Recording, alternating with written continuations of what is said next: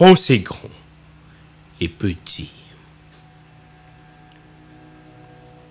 Visualisez la réussite professionnelle comme un système à plusieurs niveaux.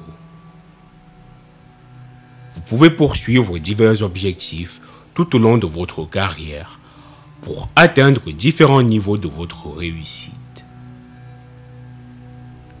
Par exemple, si vous parvenez à accomplir toutes vos tâches à temps, cela pourrait signifier que vous avez une bonne journée.